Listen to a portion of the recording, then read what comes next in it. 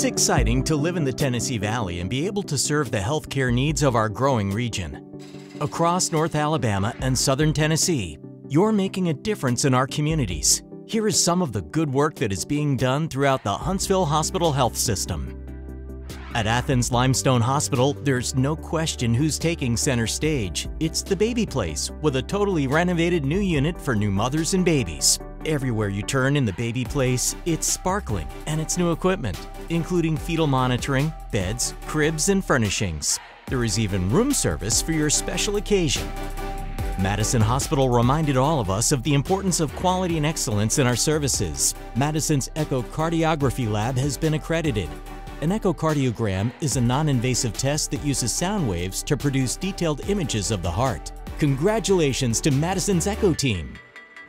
Highlands Medical Center in Scottsboro joined our health system in October of last year.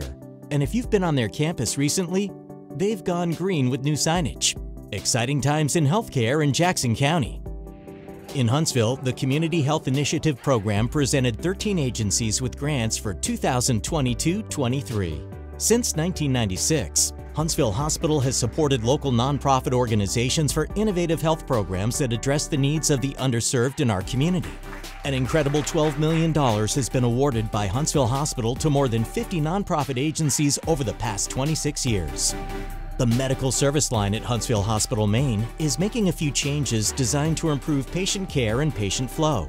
The changes began with the opening of a new medical and discharge unit on 5 Northwest, which previously housed orthopedics. This new unit includes 10 beds for medical inpatients and 7 rooms where patients who have been discharged from other floors can stay for a short time while they wait on a ride or are discharged otherwise. By moving discharged patients to a short-term area, EVS staff can get those rooms cleaned for other patients. If you're a golf fan, you might know the name of Janie Jackson. She's a rising star on the Ladies PGA Tour. Did you know that she got her start at Huntsville Hospital? Janie was home recently and helped us produce some short encouraging messages. Here's one. Hi, I'm Janie Jackson, professional golfer on the LPGA Tour. Huntsville is my hometown, and in fact, I was born right here at Huntsville Hospital. It reminds me how important it is for all of us to take care of our health. You may not play golf for a living, but you know that staying active is one of the best things that you can do, no matter your age. So find something that you enjoy doing, outside or in a gym, and whether you're counting steps or counting strokes, let's get moving around. Since we're not all golfers, we can all enjoy some downtime even at work. At Helen Keller Hospital in Sheffield, employees enjoy the on-site farmers market and a hospital picnic during the recent celebration of Hospital Week.